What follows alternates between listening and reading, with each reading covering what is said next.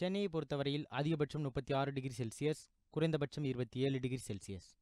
மதுரை அதிகபட்சம் முப்பத்தி ஒன்பது குறைந்தபட்சம் இருபத்தி ஏழு கோவை அதிகபட்சம் முப்பத்தி மூன்று குறைந்தபட்சம் இருபத்தி இரண்டு திருச்சி அதிகபட்சம் முப்பத்தி ஒன்பது குறைந்தபட்சம் இருபத்தி ஏழு சேலம் அதிகபட்சம் முப்பத்தி ஏழு குறைந்தபட்சம் இருபத்தி ஆறு நெல்லை அதிகபட்சம் முப்பத்தி எட்டு குறைந்தபட்சம் இருபத்தி ஏழு ஊட்டி அதிகபட்சம் பதினெட்டு குறைந்தபட்சம் பதினொன்று. புதுச்சேரி அதிகபட்சம் முப்பத்தி ஏழு குறைந்தபட்சம் இருபத்தி ஏழு கன்னியாகுமரி அதிகபட்சம் முப்பத்தி ஒன்று குறைந்தபட்சம் இருபத்தி ஆறு நாகர்கோயில் அதிகபட்சம் முப்பத்தி இரண்டு குறைந்தபட்சம் இருபத்தி ஆறு தேசிய அளவிலான வானிலை அறிக்கை.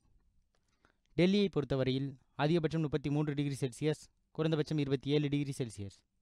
மும்பை அதிகபட்சம் இருபத்தி எட்டு குறைந்தபட்சம் இருபத்தி ஆறு கொல்கத்தா அதிகபட்சம் முப்பத்தி இரண்டு குறைந்தபட்சம் இருபத்தி ஏழு.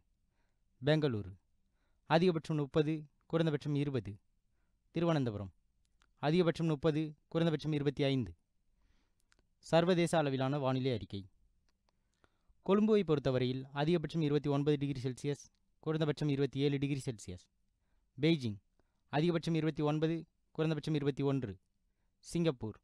அதிகபட்சம் முப்பத்தி ஒன்று குறைந்தபட்சம் இருபத்தி ஆறு. சிட்னி. அதிகபட்சம் பதினெட்டு குறைந்தபட்சம் ஆறு.